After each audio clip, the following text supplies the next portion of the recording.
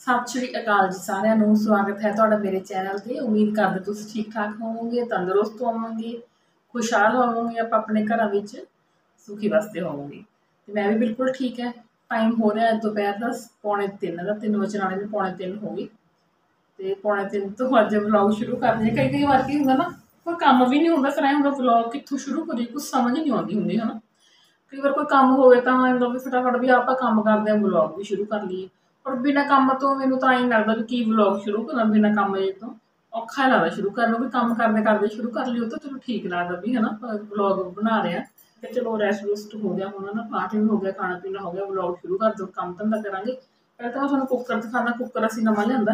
ਅਸੀਂ ਨਾ ਪੁਰਾਣੇ ਕੁੱਕਰ ਪਏ ਸਾਡੇ ਕੋਲੇ ਦੋ। ਇੱਕ ਕੁੱਕਰ ਤਾਂ ਕਿੱਦਾਂ ਦਾ ਹੀ ਖਰਾਬ ਸੀ, ਬਹੁਤ। ਪਹਿਲਾਂ ਤਾਂ ਹੋ ਹੁਣ ਤਾਂ ਦੋ ਤਿੰਨ ਸਾਲ ਪਏ ਹੀ ਪਿਆ ਸੀ ਯੂਜ਼ 'ਚ ਨਹੀਂ ਹੈਗਾ ਸੀਗਾ। ਖਰਾਬ ਮੀਨਸ ਉਹਦੇ ਵਿਸਲ ਕਈ ਵਾਰ ਠੀਕ ਕਰਾ ਲਈ ਸੀ, ਚੱਲਦਾ ਨਹੀਂ ਸੀਗਾ। ਜਿਹੜਾ ਕੁੱਕਰ ਅਸੀਂ ਯੂਜ਼ ਕਰਦੇ ਸੀਗੇ, ਕਈ ਦਿਨਾਂ ਤੋਂ ਉਹ ਵੀ ਖਰਾਬ ਹੋ ਗਿਆ ਸੀ, ਉਹਦੀ ਵੀ ਵਿਸਲ ਆਉਣੋਂ ਹਟ ਗਈ ਸਟੀਮ ਬੰਦੀ ਸੀ ਵਿਸਲ ਨਹੀਂ ਆਉਂਦੀ ਸੀ। ਸਬਜ਼ੀ ਕਦੇ ਕੱਚੀ ਰਹਿ ਜਾਂਦੀ, ਕਦੇ ਓਵਰ ਕੁੱਕ ਹੋ ਜਾਂਦੀ ਹੈ ਨਾ ਟਾਈਮ ਵੱਧ ਲੱਗ ਜਾਂਦਾ। ਵਿਸਲ ਬਿਨਾਂ ਹਿਸਾਬ ਨਹੀਂ ਆਉਂਦਾ ਹੈਗਾ ਵੀ ਕਿੰਨੀ ਵਿਸਲ ਆ ਗਈ, ਸਬਜ਼ੀ ਕਿੰਨੀ ਟਾਈਮ ਕਰੂਗੀ ਗਏ ਤਾਂ ਨਵਾਂ ਲੈਣ ਸੀਗੇ, ਵੀ ਦੋਨੇ ਕੁੱਕਰ ਉਹਨਾਂ ਨੂੰ ਘਟਾ ਦਾਂਗੇ ਜਿਹਨਾਂ ਦੇ ਕੱਟਣਗੇ, ਤੇ ਨਵਾਂ ਲਿਆਉਣੇ ਹੈਗੇ ਨਵਾਂ ਤੇ ਕੁੱਕਰ ਅਸੀਂ ਲਿਆਂਦਾ ਇੱਕ ਕੁੱਕਰ ਅਸੀਂ ਕਟਾਤਾ ਇੱਕ ਅਸੀਂ ਵਾਪਸ ਲਿਆਏ ਠੀਕ ਕਰਵਾ ਕੇ ਕਹਿੰਦੇ ਵਧੀਆ ਪੇ ਕੁੱਕਰ ਕੁਛ ਨਹੀਂ ਹੋਇਆ, ਵੀ ਠੀਕ ਕਰਦਾ ਨਾ ਇਸ ਚਲੋ ਇੱਕ ਠੀਕ ਕਰ ਦੋ ਫਿਰ। ਇੱਕ ਉਹਨਾਂ ਨੇ ਸਾਨੂੰ ਠੀਕ ਕਰਕੇ ਦਿੱਤਾ ਚੱਲ ਪਿਆ। ਵਧੀਆ ਵੀ ਸਰਾਉਣ ਲੱਗੇ ਇੱਕ ਅਸੀਂ ਨਵਾਂ ਲਿਆਂਦਾ। ਮੈਂ ਜਿਹੜਾ ਸਿੰਪਲ ਕੁੱਕਰ ਆਪਣਾ ਚੱਲਦੇ ਨੇ ਸਟੀਲ ਦਾ ਦੇਖਿਆ ਸੀਗਾ। ਸਟੀਲ ਦਾ ਅਸੀਂ ਦੇਖਿਆ ਸੀ ਹੌਕਿੰਸ ਦਾ ਪ੍ਰੈਸਟੀ ਦਾ ਪੀਐਨਬੀ ਦਾ। ਸਾਰੇ ਕੁੱਕਰ 2700 2800 ਤੋਂ ਸ਼ੁਰੂ ਸੀ 3 ਲੀਟਰ ਵਾਲੇ। 3 ਲੀਟਰ ਵਾਲਾ ਅਸੀਂ ਲੈਣਾ ਸੀਗਾ।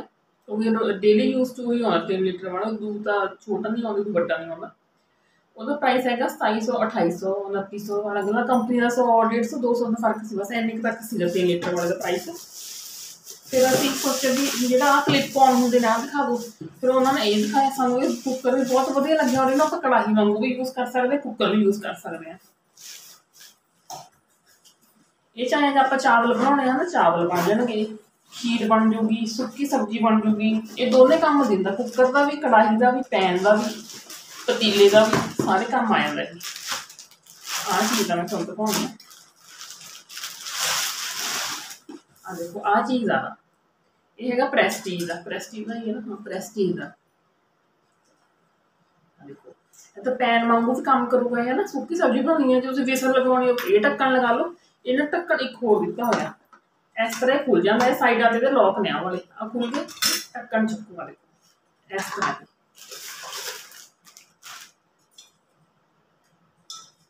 ਸਟੀਲ ਦਾ ਇਹ ਅਸੀਂ ਹੁਣ ਐਲੂਮੀਨੀਅਮ ਦੇ ਭਾਂਡੇ ਖਤਮ ਕਰ ਰਹੇ ਹਾਂ। ਜਿਵੇਂ ਜਿਵੇਂ ਸਾਡੇ ਭਾਂਡੇ ਖਰਾਬ ਹੋ ਰਹੇ ਆ, ਨਵਾਂ ਅਸੀਂ ਐਲੂਮੀਨੀਅਮ ਤੋਂ ਕੋਈ ਨਹੀਂ ਲੈ ਰਹੇ ਹੈਗੇ, ਸਾਰੇ ਸਟੀਲ ਦੇ ਕੱਢ ਲੈ ਰਹੇ ਰਹੇਗੇ ਐਲੂਮੀਨੀਅਮ ਕੋਸ਼ਿਸ਼ ਅਭੀ ਕੱਢਦੀ ਦਈਏ ਕੁਝ ਯੂਜ਼ ਚ ਆਈ ਜਾਂਦੇ ਨੇ, ਹੁਣ ਇੱਕਦਮ ਸਾਰੇ ਤਾਂ ਕੱਢੇ ਨਹੀਂ ਜਾਂਦੇ ਹੈਗੇ ਨਾ, ਵੀ ਸਾਰੇ ਇੱਕਦਮ ਹਟਾ ਦੇ, ਨਵੇਂ ਲੈ ਲਈ ਇੱਕਦਮ ਤਾਂ ਨਵੇਂ ਲੈਣੇ ਵੀ ਔਖੇ ਨੇ। ਜਿਹੜੀ ਚੀਜ਼ ਨਵੀਂ ਲੈ ਰਹੇ ਹੋ, ਉਹ ਐਲੂਮੀਨੀਅਮ ਨਹੀਂ ਲੈ ਰਹੇ ਸਟੀਲ ਹੀ ਲੈਂਦੇ ਇਸ ਤਰ੍ਹਾਂ ਇਹ, ਇਹਦੇ ਵਿੱਚ ਚਾਵਲ, ਖੀਰ ਕੁਝ ਸੁੱਕੀ ਸਬਜ਼ੀ ਬਣਾਉਣੀ, ਉਹ ਵੀ ਬਣ ਜੂਗੀ। ਇਹਦਾ ਢੱਕਣਾ ਬਹੁਤ ਜ਼ਿਆਦਾ ਹੈਵੀ ਹੈ ਇਹ ਫਿਰ ਇਸ ਤਰ੍ਹਾਂ ਬਸ ਇਹਨੂੰ ਬੰਦ ਕਰ ਦੋ ਬਹੁਤ ਹੀ ਸੌਖਾ ਹੈ। ਇਸ ਤਰ੍ਹਾਂ ਖੋਲ ਲਓ, ਇਸ ਤਰ੍ਹਾਂ ਬੰਦ ਕਰ ਦਿਓ। ਆਪਾਂ ਡੱਬਾ ਖੋਲ ਕੇ ਬੰਦ ਕਰਦੇ ਹਾਂ, ਉਹ ਇਹਦੀ ਵਿਸਲ ਆ ਜਾਂਦੀ ਵਿਸਲ ਇਹਦੇ ਵਿੱਚ ਹੈਗੀ ਇਹਦੇ ਵਿੱਚ। ਇੱਕ ਢੱਕਣ ਇਹਦਾ ਐਕਸਟਰਾ ਮਿਲਦਾ ਹੁੰਦਾ ਹੋਰ। ਆਹ। ਇਹ ਜੇ ਆਪਾਂ ਕੁੱਕਰ ਟਾਈਪ ਇਹਨੂੰ ਨਹੀਂ ਯੂਜ਼ ਕਰ ਰਹੇ ਹਾਂ ਤਾਂ ਤੁਸੀਂ ਆਹ ਵਾਲਾ ਢੱਕਣ ਲਗਾ ਲਓ ਇਹਨਾਂ ਕਵਰ ਕਰ ਦਿਓ ਚੀਜ਼ ਵਧੀਆ ਲੱਗੀ, ਪਰ ਥੋੜਾ ਕਾਸਟਲੀ ਆ, ਪਰ ਫਿਰ ਅਸੀਂ ਚਲੋ ਹੁਣ ਥੋੜਾ ਕਿਚਨ 'ਚ ਪਿਆ ਵੀ ਸੋਹਣਾ ਲੱਗੇ ਵੀ ਉਹ ਕੁੱਕਰ ਤਾਂ ਬਹੁਤ ਯੂਜ਼ ਕਰ ਲਈ ਇਹ ਵੀ ਕਰ ਲਈ ਇੱਕ ਅਸੀਂ ਪੁਰਾਣਾ ਠੀਕ ਕਰਵਾ ਲਿਆ, ਇੱਕ ਅਸੀਂ ਇਹ ਲੈ ਲਿਆ। ਪਰ ਫਿਰ ਘਰੇ ਆ ਕੇ ਅਸੀਂ ਸੋਚਿਆ ਵੀ ਥੋੜਾ ਜਿਹਾ ਵੱਡਾ ਹੋਰ ਲੈ ਲਾਂਗੇ 5 ਲੀਟਰ ਵਾਲਾ ਲੈ ਲਾਂਗੇ, ਹਨਾ। ਵੀ ਇਹਦੇ ਵਿੱਚ ਸਿਰਫ ਇੰਨੀ ਕੀ ਚੀਜ਼ ਬਣੂਗੀ ਜਿੰਨੀ ਇਹਦੀ ਕੁਆਂਟੀਟੀ ਹੈ 5 ਲੀਟਰ ਵਾਲੇ ਥੋੜੀ ਵੀ ਬਣਾ ਸਕਦੇ ਹਾਂ ਜ਼ਿਆਦਾ ਵੀ ਬਣਾ ਸਕਦੇ ਹਾਂ ਫਿਰ ਦੇਖਾਂਗੇ, ਸ਼ਾਇਦ ਹੁਣ ਅਸੀਂ ਬਦਲ ਕੇ ਆਈਏ।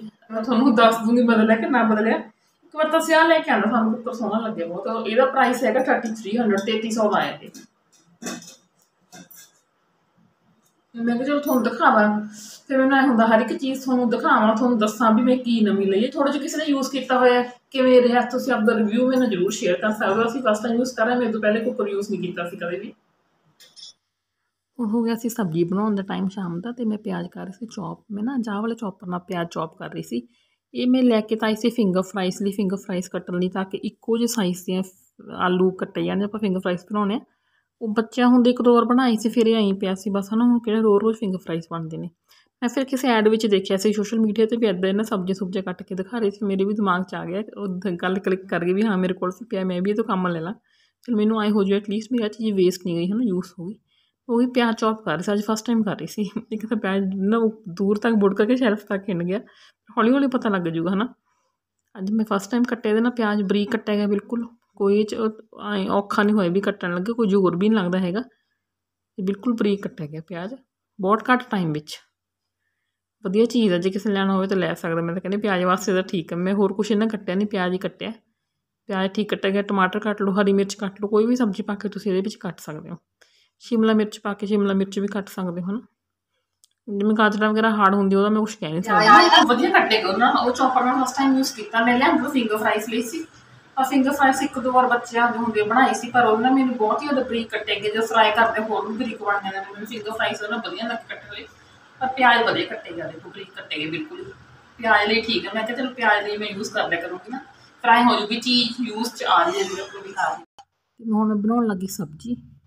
ਇਹ ਮੈਂ ਸਰੋਂ ਦੇ ਤੇਲ 'ਚ ਬਣਾਉਣੀ ਸੁੱਕੀਆਂ ਸਬਜ਼ੀਆਂ ਮੈਂ ਸਾਰੀਆਂ ਹੀ ਸਰੋਂ ਦੇ ਤੇਲ 'ਚ ਬਣਾਉਂਦੀ ਕਿਉਂਕਿ ਘਰ ਦੀ ਸਰੋਂ ਦਾ ਕਢਾਇਆ ਹੋਇਆ ਤੇਲ ਹੁੰਦਾ। ਤੇ ਇਦੋਂ ਬੈਸਟ ਚੀਜ਼ ਤਾਂ ਕੋਈ ਸਰੋਂ ਤੇਲ ਤੋਂ ਬੈਸਟ ਚੀਜ਼ ਮੈਨੂੰ ਮੈਨੂੰ ਲੱਗਦਾ ਵੀ ਹੋ ਪਾਊਗੀ ਹੈ ਨਾ ਸਰੋਂ ਤੇਲ ਹੈ ਦੇਸੀ ਘਿਓ ਰਿਫਾਈਨਡ ਆਇਲ ਅਸੀਂ ਬਹੁਤ ਬਹੁਤ ਘੱਟ ਯੂਜ਼ ਕਰਦੇ ਆਂਗੇ ਲਿਆ ਕੇ ਜ਼ਰੂਰ ਰੱਖਦੇ ਹਾਂ, ਠੀਕ ਹੈ, ਘੱਟ ਯੂਜ਼ ਕਰਦੇ ਆਂ ਤੇ ਉਹ ਨਾ ਲੇਡੀਜ਼ ਨੂੰ ਹੁੰਦਾ ਵੀ ਕੋਈ ਚੀਜ਼ ਨਾ ਵੇਸਟ ਜਾਵੇ, ਇਸ ਕਰਕੇ ਮੈਨੂੰ ਪਾਈ ਜਿਹੜਾ ਮੇਰਾ ਚੌਪਰ ਪਿਆ ਨਾ, ਵੀ ਉਹ ਤੋਂ ਮੈਂ ਕੰਮ ਲੈਣਾ, ਫਿਰ ਮੈਨੂੰ ਆਈ ਨਹੀਂ ਲੱਗੂ ਵੀ ਉਹ ਤੇ ਪੈਸੇ ਲਾਏ ਵੇਸਟ ਹੋ ਗਏ ਨਾ ਫਿਰ ਲੇਡੀਜ਼ ਨੂੰ ਹੁੰਦਾ ਵੀ ਆਹ ਚੀਜ਼ ਤੇ ਪੈਸੇ ਲੱਗੇ ਨੇ ਨੂੰ ਕਮੇ ਯੂਜ਼ ਕਰੀਏ? ਆਪਾਂ ਦਿਮਾਗ ਲੜਾਈ ਜਾਂਦੇ ਹੁੰਦੇ ਇਹਦੇ ਵੀ ਕਿਵੇਂ ਨਾ ਕਿਵੇਂ ਇਹਦੀ ਵਰਤੋਂ ਕਰੀਏ, ਆਪਾਂ ਨੂੰ ਐ ਨਾ ਹੋਵੇ ਆਪਣੇ ਪੈਸੇ ਵੇਸਟ ਚਲੇ ਗਏ। ਤੇ ਇਸ ਕਰਕੇ ਅੱਜ ਮੈਂ ਵੀ ਉਹ ਚੌਪਰ ਕੱਢ ਕੇ ਯੂਜ਼ ਕੀਤਾ, ਮੈਂ ਕਿ ਹੁਣ ਮੈਂ ਹੀ ਕਰਿਆ ਕਰੂੰਗੀ।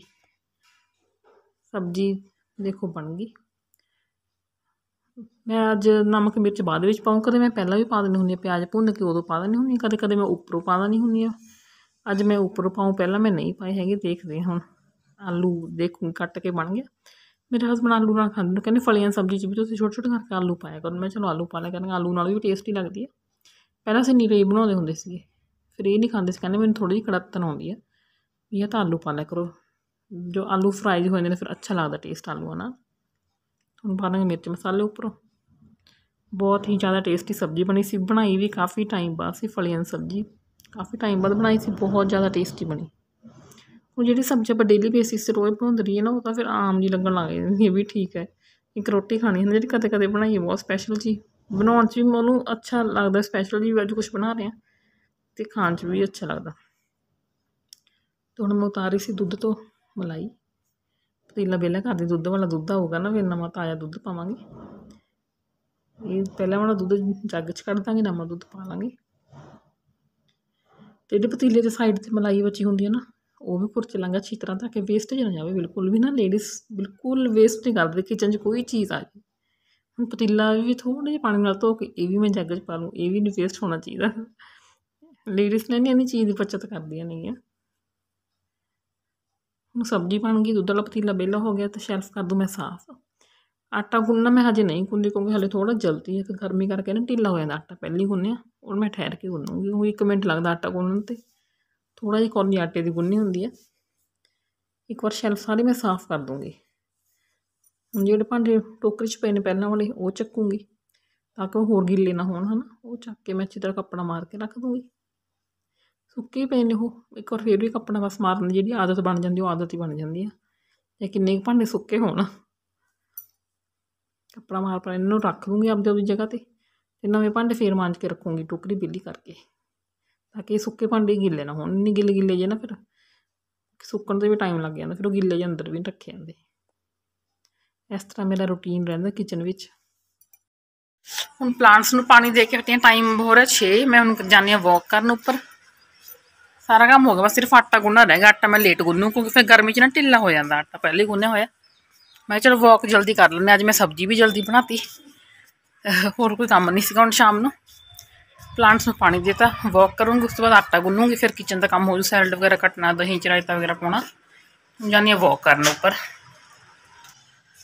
ਵਾਕ ਮੇਰੀ ਹੋ ਗਈ ਡਨ ਗਰਮ ਗਰਮੀ ਹੋਰ ਸਾਹ ਵੀ ਚੜਿਆ ਪਿਆ।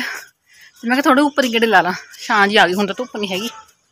ਤੂੰ ਵੀ ਥੋੜੀ ਜੀ ਹਵਾ ਜੀ ਚੱਲਦੀ ਥੋੜੀ ਥੋੜੀ ਹਵਾ ਲੱਗਦੀ, ਜ਼ਿਆਦਾ ਵੀ ਨਹੀਂ ਜੇ ਵਾਕ ਕਰਕੇ ਇੱਕਦਮ ਬਹਿ ਜਾਈਏ ਨਾ, ਲੱਤਾਂ ਦੁਖਣ ਲੱਗ ਜਾਂਦੀਆਂ, ਹਲਕਾ ਹਲਕਾ ਤੁਰੇ ਫਿਰੋ ਤਾਂ ਠੀਕ ਰਹਿੰਦੇ ਆ, ਫਿਰ ਪਤਾ ਨਹੀਂ ਲੱਗਦਾ ਹੈਗਾ ਵੀ ਵਾਕ ਆ। ਰਾਤ ਦਾ ਖਾਣਾ ਅਸੀਂ ਖਾ ਲਿਆ, ਮਤਲਬ ਕਿ ਮੈਂ ਤੇ ਮੰਮੀ ਨੇ ਖਾ ਲਿਆ। ਦਵਿੰਦਰ ਹਜੇ ਮਾਨਸਾ ਨੂੰ ਆਏ ਨਹੀਂ, ਆਉਣਗੇ, ਨਹਾਉਣਗੇ, ਫਿਰ ਮੈਂ ਖਾਣਾ ਬਣਾਉਂਗੀ ਉਹਨਾਂ ਵਾਸਤੇ। ਖਾਣਾ ਕਿ ਸਾਡਾ ਦੋ ਦੋ ਫੁਲਕੇ ਹੁੰਦੇ ਨੇ ਲੱਗਦਾ ਹੀ ਨਹੀਂ ਵੀ ਖਾਣਾ ਬਣਿਆ ਵੀ ਹੈ ਨਾ ਦੋ ਦੋ ਫੁਲਕਿਆਂ ਦਾ ਪਤਾ ਹੀ ਨਹੀਂ ਲੱਗਦਾ ਇਹ ਕਦੋਂ ਬਣ ਜਾਣ 6 ਫੁਲਕੇ ਨੇ ਸਿਰਫ ਸਾਡੇ ਤਿੰਨਾਂ ਦੇ। ਮੈਂ ਕਿਹਾ ਚਲੋ ਵੀਡੀਓ ਦਾ ਐਂਡ ਕਰਾਂ, ਮੈਂ ਬਾਹਰ ਸੈਰ ਕਰਨਾ ਹੀ ਸੀ। ਅੱਗੇ ਅਸੀਂ ਦੋਨੇ ਇਕੱਠੇ ਆਉਂਦੇ, ਕਦੇ ਆਉਂਦੇ ਨਹੀਂ ਸੀ। ਅੱਜ ਮੌਸਮ ਠੀਕ ਆ, ਅੱਜ ਨਹੀਂ ਜ਼ਿਆਦਾ ਗਰਮੀ ਨਹੀਂ ਲੱਗਦੀ, ਪਤਾ ਨਹੀਂ ਕੀ ਗੱਲ ਅੱਜ ਠੀਕ ਲੱਗ ਰਿਹਾ ਮੌਸਮ। ਮੈਂ ਕਿਹਾ ਚਲੋ ਬਾਹਰ ਸੈਰ ਕਰਨਾ। ਨਹੀਂ, ਗਰਮੀ ਜ਼ਿਆਦਾ ਹੁੰਦੀ, ਫਿਰ ਤਾਂ ਸੈਰ ਹੁੰਦੀ ਨਹੀਂ। ਇੱਕ ਨਾ ਸਾਡਾ ਬਹੁਤ ਵਧੀਆ ਉਰੇ ਜਗਾੜ ਕਰਿਆ ਹੋਇਆ ਸਟੋਰ 'ਚ।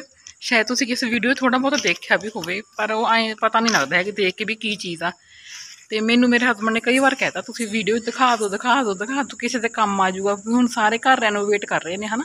ਤੇ ਪੁਰਾਣਾ ਸਮਾਨ ਜਿਹੜਾ ਘਰਾਂ ਚੋਂ ਨਿਕਲਦਾ, ਅਸੀਂ ਨੇ ਕੁਛ ਵੀ ਨਹੀਂ ਸਿੱਟਿਆ। ਜੋ ਵੀ ਸਮਾਨ ਸਾਡਾ ਲੱਕੜ ਦਾ ਕੁਝ ਵੀ ਹੋਇਆ, ਅਸੀਂ ਕੁਝ ਵੇਸਟੇਜ ਨਹੀਂ ਕਰੀ ਹੈਗੀ। ਜਿਵੇਂ ਸਾਰੇ ਪੁਰਾਣੀਆਂ ਵਿੰਡੋ ਦਰਵਾਜ਼ੇ ਕੰਧਾਂ ਵਿੱਚ ਸ਼ੋਕੇਸ ਸੀਗੇ ਜਿਹੜੇ ਜਾਂ ਆਪਾਂ ਲੱਕੜ ਦੇ ਪੈਲਮਟ ਸੀ ਪਰਦਿਆਂ ਵਾਲੇ, ਉੱਤਰੇ ਪਹਿਲਾਂ ਪੈਲਮਟ ਸੀਗੇ, ਹੁਣ ਤਾਂ ਕੱਲੀ ਆਪਾਂ ਸਟੀਲ ਦੇ ਪਾਈਪਸ ਪਾਉਂਦੇ ਨੇ, ਉਹ ਅਸੀਂ ਸਾਰੇ ਰੀਯੂਜ਼ ਕਰੇ ਹੋਏ ਨੇ ਕੁਝ ਵੀ ਨਹੀਂ ਬੇਕਾਰ ਚੀਜ਼ ਜਾਣ ਦਿੱਤੀ।